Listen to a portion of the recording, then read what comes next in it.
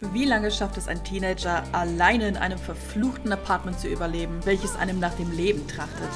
Ich spiele mit allen Grundstücksherausforderungen und die haben es in sich. In 14 Tagen wird unser Teenager Kate zur jungen Erwachsenen und darf das Apartment dann verlassen. Allerdings muss ich als Kate einige Dinge erfüllen, damit ich mir ein Leben außerhalb dieses Höllen-Apartments auch ermöglichen kann. Der erste Tag begann mit einem leeren Magen im dunklen Apartment und den versprochenen 12 Grundstücksherausforderungen. Und natürlich komplett pleite. Zu Beginn hatte ich direkt die ersten zwei Probleme. Ich hatte keinen Strom und keine Wasserversorgung, da ich abseits des Netzes Praxis lebe und Kochen war somit ein Ding der Unmöglichkeit. Und weil das Timing mich hasst, hatte ich auch direkt die erste Rechnung im Briefkasten, die ich natürlich nicht bezahlen konnte. Ich ging runter ins Viertel, um mich ins WLAN des U-Bahnhofes einzuloggen, um meine Anmeldung für die Highschool abzuschicken. Einer meiner Ziele ist nämlich ein Abschluss als Einserschülerin, damit ich später einen guten Job bekommen würde. Aber zunächst brauchte ich Geld. Da die Müllcontainer leer waren und ich sie so nicht plündern konnte, fing ich an zu singen, um ein wenig an Trinkgeld zu kommen. Doch alles, was ich bekam, war eine Fehlermeldung vom Spiel. Wow. Danke. Ich weiß, dass mein Gesang verbesserungswürdig ist. Also Planänderung. Ich fand einige Posterkästen und Schneekugelkartons, die ich durchstöbern konnte, um so an ein paar Simoleon zu kommen. Und als hätten sie meine Gedanken gelesen, es fand ein Protest statt für mehr Geld. Allerdings war ich so nervös, dass ich direkt für das Falsche protestiert hatte. Hauptsache laute Wörter durch die Gegend brüllen. Anschließend fand ich einen Obst- und Gemüsehändler, bei dem ich erst einmal Rabatt aushandelte, um mir meine erste Ernte kaufen zu können. Wir müssen nämlich selber Sachen anbauen, um uns zu ernähren. Danach war auch auch genügend Müll vorhanden, um ein wenig abzutauchen. Vielleicht fand ich da ja Schätze, die ich zu Geld machen konnte. Und dann kam ein folgenschwerer Anruf. Tane, ihr wisst schon, der Pfadfinder von damals, meldete sich und wollte für ein paar Tage bei mir unterkommen. Ich dachte, er stecke vielleicht in Schwierigkeiten und natürlich wollte ich ihm dann helfen. Ich wusste schließlich, wie es war, obdachlos zu sein. Dass er dann allerdings seine ganze Familie inklusive Kleinkind mitbrachte,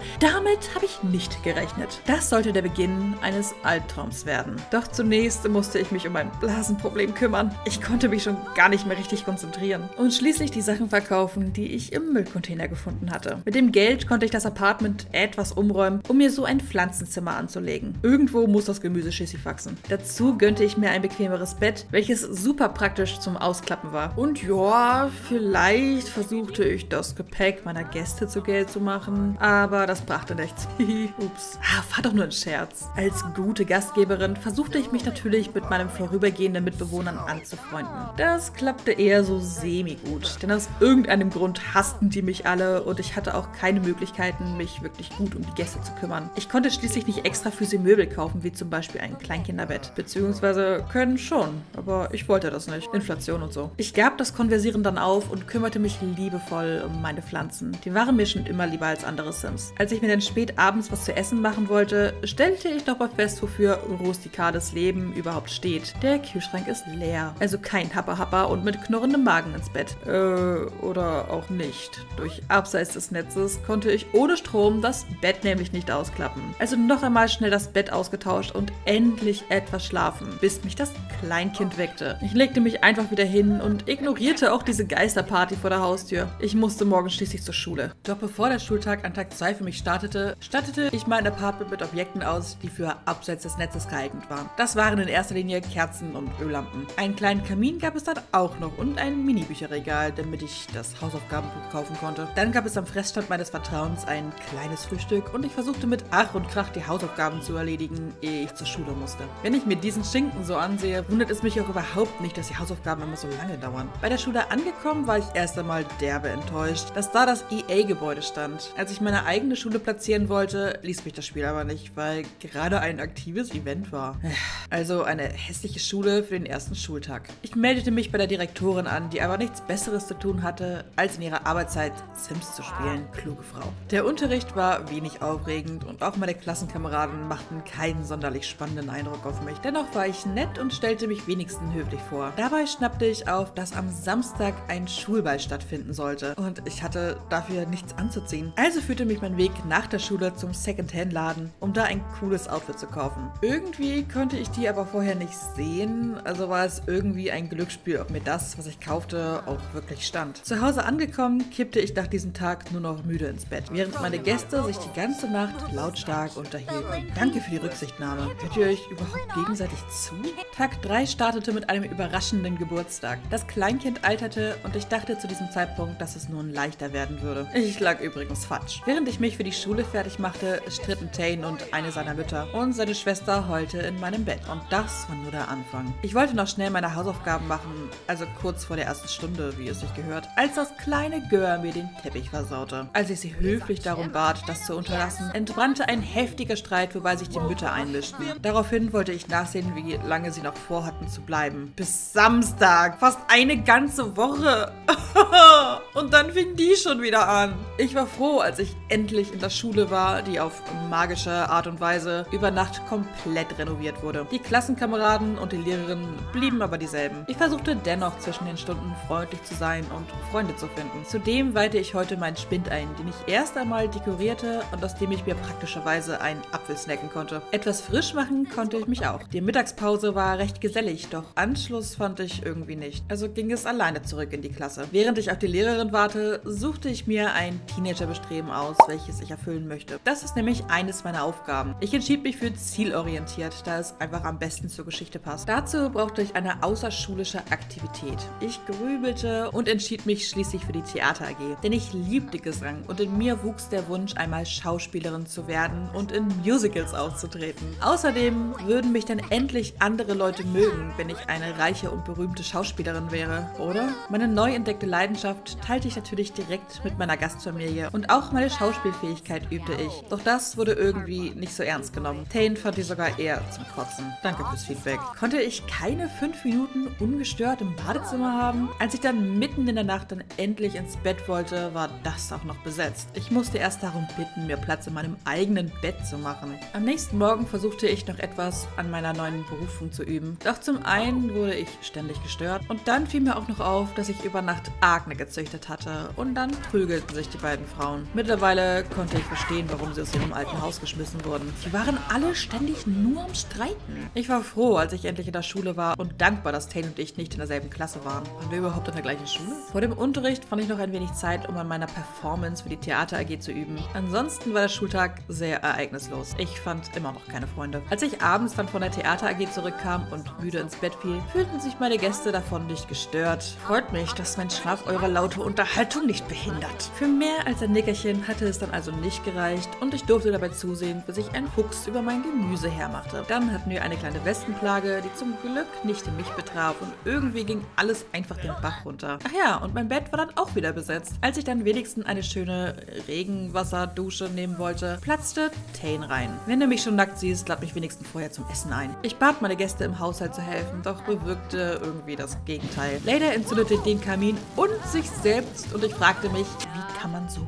blöd sein? Ich wunderte mich dann auch gar nicht erst, als ein Geist durchs Wohnzimmer schwebte und Trost in meinem Bett suchte. Alles lief super. Die halbe Nacht wurde gestritten, mein Apartment verunstaltet und mir ging es echt elend. Ich kam nicht zum Schlafen und auch die Hausaufgaben konnte ich nicht erledigen, weil ich mich nicht konzentrieren konnte. Nachdem ich mich übergeben hatte, ging es mir immerhin so weit in Ordnung, dass ich mich an Mathe setzen konnte. Und dann schickte mir Tane eine Nachricht. Er lud mich zu einer Übernachtungsparty ein. Äh, du wohnst gerade bei mir. Wo willst du übernachten? Und wenn du woanders pennen kannst, warum wohnt deine ganze Familie dann bei mir? Tane! Dem musste ich auf den Grund gehen und sagte zu. Aber Tane blieb und ich ging. Lange. Zwar erfüllten sich meine Bedürfnisse, doch was auch immer das für eine Party war, geschlafen hatte ich nicht. In der Schule war ich also todmüde und ich verbrachte jede unterrichtsfreie Minute damit, draußen im Starkregen auf einer harten Bank zu schlafen. Hatte ich übrigens erwähnt, dass heute Prüfungstag war? Es war die Hölle. Auch meine Mittagspause verbrachte ich auf der Bank. Und als zur letzten Prüfungsstunde die Lehrerin zu spät in die Klasse kam, nutzte ich die Gelegenheit, um die Tafel ein wenig zu verschönern. Natürlich hatte ich die Tür im Blick, falls sie zurückkommen sollte.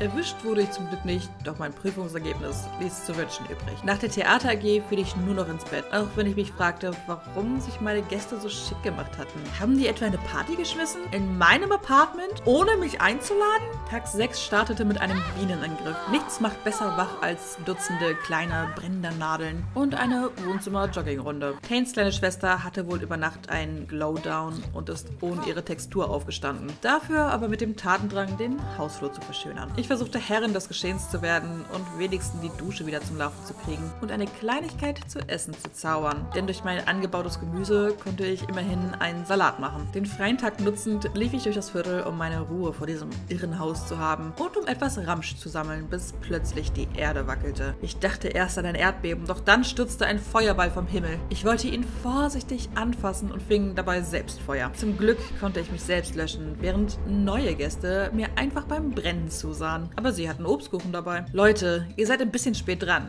Kommt ihr mit eurem ekligen Kuchen nicht eigentlich am ersten Tag? Als ich mich dann noch mit herunterregnenden Spinnen abgeben musste, startete dann das Begrüßungskomitee. Fünf Tage zu spät übrigens. In der Großstadt nahm man die Pünktlichkeit nicht so ernst. Die neuen Gäste sorgten für noch mehr Durcheinander im Apartment und ich hatte wieder keine Zeit zum Üben. Ich bemühte mich, wenigstens mit diesen Leuten Freundschaft zu schließen. Doch mein geerntetes Gemüse war wohl nicht mehr gut gewesen. Es sorgte für Durchfall. Ja, so habe ich auch geguckt, als ich erfahren habe, dass das bei Sims möglich ist. Leider ging es dann auch noch in die Hose. Was für ein beschissener Tag. Nach einer Dusche und einem kleinen Schläfchen war ich noch immer an die Toilette gefesselt und nicht mal dann hatte ich Ruhe. Tate platzte schon wieder rein. Nicht mal in Ruhe Pilzen essen kann man auf dem Klo. Immerhin ging es mir danach soweit wieder ganz gut, sodass ich mir den Schulball zutraute, der heute stattfinden sollte. Also wurde es Zeit, mein Kleid, welches ich extra dafür gekauft hatte, anzuprobieren.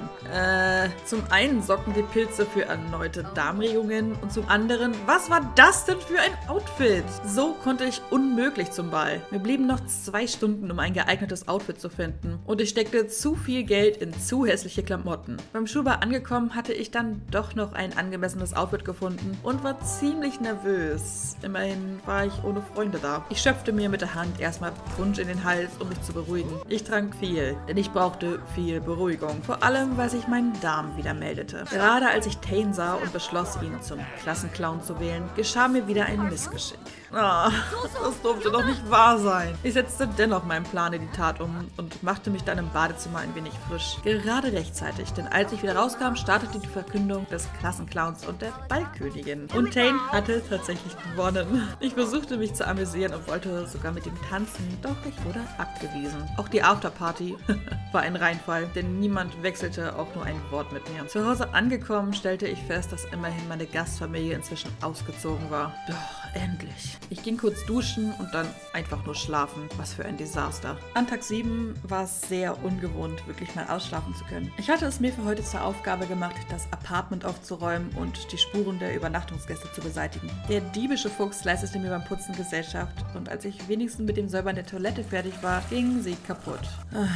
Ich verbrachte den Tag also mit Reparieren, Putzen, Gartenpflege und Hausaufgaben. Sogar für die Theater AG konnte ich nun üben. Um meine Karriere ein wenig voranzutreiben, gönnte ich mir sogar eine Gitarre. Ich wollte unbedingt noch ein neues Hobby haben, welches mir Spaß brachte. Denn bisher war mein Leben hier nicht besonders spaßig. Apropos nicht spaßig. Zwar war ich meine lauten Übernachtungsgäste los, doch nun fing der Nachbar von gegenüber an, mir auf den Sack zu gehen. Als ich ihn auf seine laute Musik ansprach und höflich darum bat, sie leiser zu stellen, bekam ich nur eine freche Antwort. Rudi, du hast doch keine Ahnung von meinem Leben. Ein Like würde mir eine Menge bedeuten. Für dich ist es nur ein kleiner Klick, aber mir hilft es enorm. Und schreib mir mal bitte in die Kommentare, welche Grundstücksherausforderung du am allernervigsten findest und warum. Die Nacht von Tag 8 verbrachte ich unten im Viertel, um Sammlerstücke zu sammeln. Bop, bop, bop, bop, bop. Ich liebe den Bab-Modus. Danach tauchte ich noch im Müllcontainer und verkaufte den Krempel, den ich gefunden hatte. Ein weiteres Ziel ist nämlich, 20.000 Simoleon zu sparen, um mir ein Flugticket nach Delso Valley zu kaufen, weil ich dort ein neues Leben als Schauspielerin starten möchte.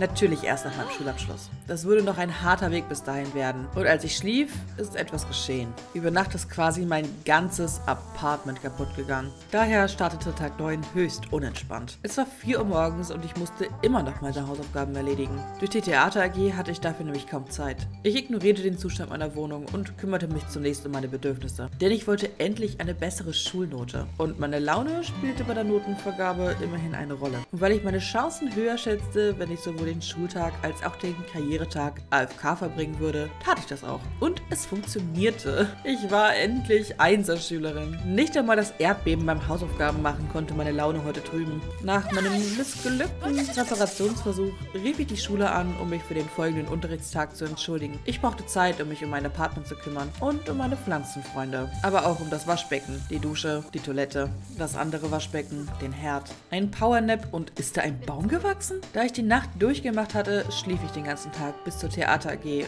Und als ich heimkam, suchte mich ein Bienenschwarm heim. Immerhin verbreiteten die keine Krankheiten. Oder doch? Vorsichtshalber einmal abduschen. Und warum schlief mein Nachbar im Flur?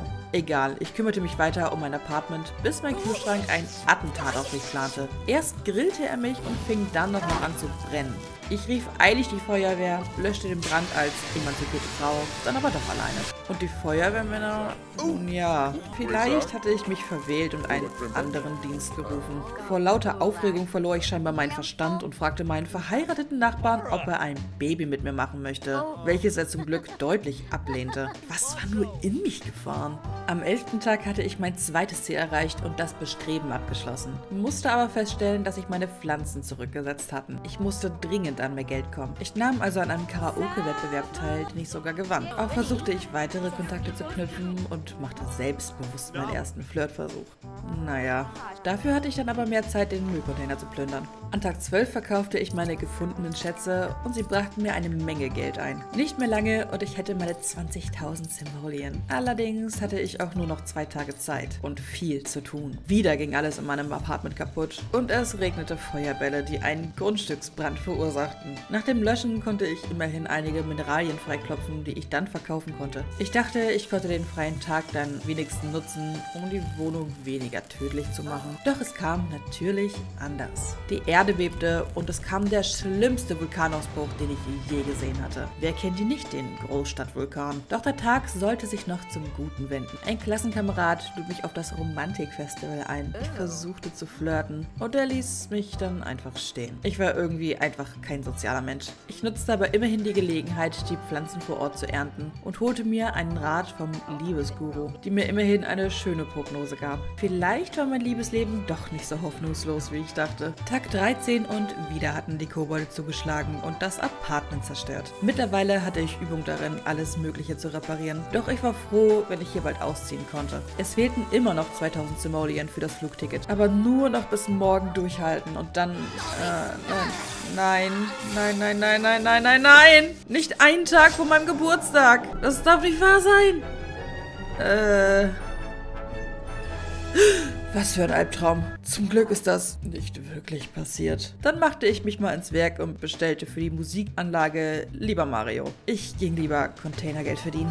Der 14. Tag war endlich gekommen und ich hatte endlich das Geld zusammen. Gerade noch rechtzeitig. Es war also der letzte Tag in diesem furchtbaren Apartment und mein Geburtstag. Ich lud Tane ein, um ihn zu fragen, ob er mir bei einer kleinen Geburtstags-Abschiedsparty helfen konnte. Und irgendwie kamen wir uns dadurch sogar ein wenig näher. Wir organisierten eine tolle Feier mit vielen Gästen und in mir entstanden romantische Gefühle. Tane und ich flirteten den ganzen Tag, auch wenn ich wusste, dass wir uns nach meinem Umzug wohl nicht mehr wiedersehen würden. Dennoch hatte ich einen Plan gefasst. Ich kannte Tane schon so lange und wir hatten viel durch. Ich wollte meine ersten romantischen Erfahrungen mit ihm sammeln. Doch vorher wurde es Zeit, die Kerzen auszupusten. Ich wurde zur jungen Erwachsenen und hatte einen Abschluss mit Auszeichnung. Um das zu feiern, gönnte ich mir ein kleines Makeover. Kann mir übrigens jemand verraten, wie ich als junge Erwachsene die Akne wegbekomme? Nun konnte ich Tane küssen. Und irgendwie wurde aus dem Kuss auch mehr. Und damit ging mein Leben in San Maishuno zu Ende.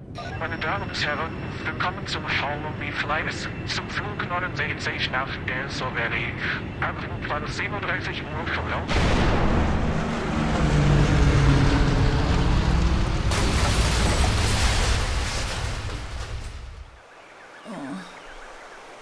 bin ich.